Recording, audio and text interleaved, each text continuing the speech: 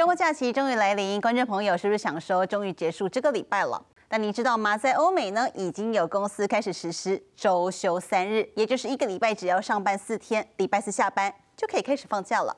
这些率先试办新制的公司，他们实验新的是什么？带您一起来看。周休三天，每周上班四天就好。这个曾经看似遥不可及的工作模式，疫情过后逐渐被劳雇双方所接受。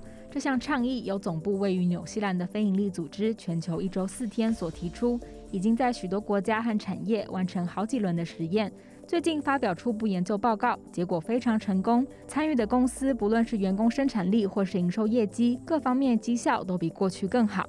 都愿意继续维持这样的工作制度。When we talk about four-day week, we mean at its heart, it's a reduced hours working week on normal weekly pay, but which maintains or enhances current levels of productivity. Now we refer to this as the 100-80-100 rule.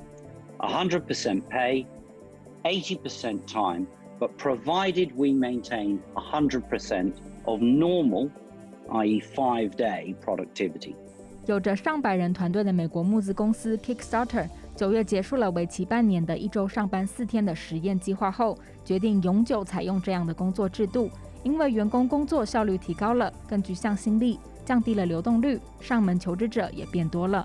Our employees are very happy and very grateful. They're more engaged than they've ever been. People feel less stressed. uh, at work. You really have to take a, a, hard look at the ways that your company works. It's cutting down on meetings that are too long or don't even need to exist in the first place and strip out anything that isn't really core to them delivering on the work that they need to deliver on. Four Day Week Global 的一系列工作四天计划持续在欧美纽澳数十家公司试行。从美国、爱尔兰和澳洲初步搜集的资料显示， 在为期十个月、规模近千人的实验中，参与的公司营收比实验前增加约百分之八。员工缺勤也从每个月平均零点六天降到零点四天，在总分十分的营运效率影响判断上，雇主给出七点七分，整体评价高达九分。一周上班四天不仅对雇主有利，员工幸福感也同时增加，还能让通勤减少，对环境和社会好处多多。There are many ways in which working time relates to things like carbon emissions. So if you have more time, you are less likely to engage in carbon-intensive um, activities. So you're you're you're more likely to walk or cycle instead of drive. You're more likely to cook with um, fresh ingredients rather than buy expensive um, and carbon-intensive frozen food products. 不仅有更多时间休息做料理，周休三天还能让员工获得充分休息， 工作带来的压力、疲劳和焦虑获得疏解，睡眠品质大幅改善。几乎所有受测劳工都表示，希望这项有益身心灵的制度能够延续下去。As we focus on the way in which we're going to work post COVID 19, I think it's worth, first of all, looking at what the big issues are that are facing business today.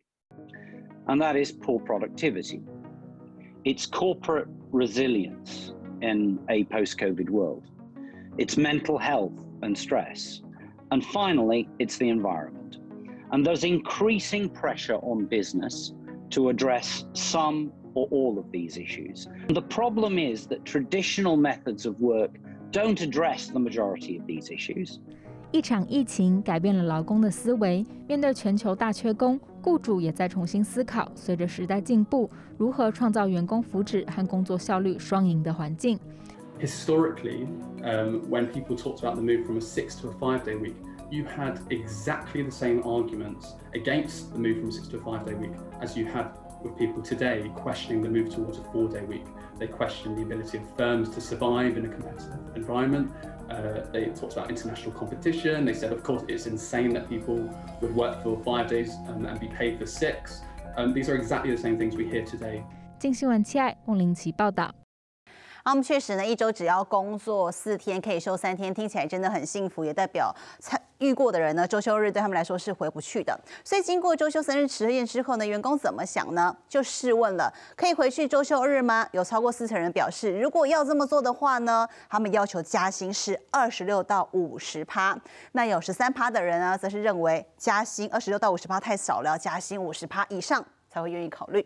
另外十三趴的人只是说想都不用想，没得商量，就是回不去周休二日。那么谈完了每周工作天数，就来看一看了一整年工作几个小时。其实呢，日本还有南韩长期以来都是因为高工时而背负过劳形象，但真的数字会说话。从数据来看，台湾劳工的全年总工时比日韩还要更高的。我们先看到亚洲部分了，最大经济体德国，德国的每位劳工呢，去年一整年的工时平均下来大约是一千三百五十个小时，英国接近一千五百个小时，那芬兰才被认为是全世界最幸福的国度，大概是一千五百二十个小时。那么在欧洲以外的国家方面呢，我们就先看亚洲，你看像日本，日本大约是高于一千六百个小时，那么澳洲是逼近了一千七百个小时。